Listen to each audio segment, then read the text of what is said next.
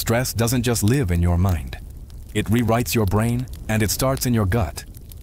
When the diversity of your gut microbes fades, that invisible highway connecting your gut to your brain starts to break down. First, inflammation surges. Stress floods your system with tiny chemical flames that dull your memory, blur your focus, and make you irritable. Second, your brain's feel-good chemical supplies weaken. With fewer supportive microbes, serotonin and dopamine levels fall, and your brain basically loses its reset button. Third, stress loops take over. That anxiety, sleeplessness, and brain fog aren't just in your head, they're biological echoes of a disrupted gut. Here's the twist. Stress damages your microbes, but weakened microbes also amplify your stress. It's a vicious feedback loop. But you can break that loop. When you rebuild your microbial diversity through rest, rhythm, and nourishment, the gut restores calm, and the brain follows.